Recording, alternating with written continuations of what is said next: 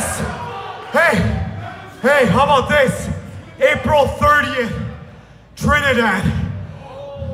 Oh yeah. Us, the Bollywood Boyz, versus you guys. You bring those tag team titles, and we're gonna kick your ass all over the camp.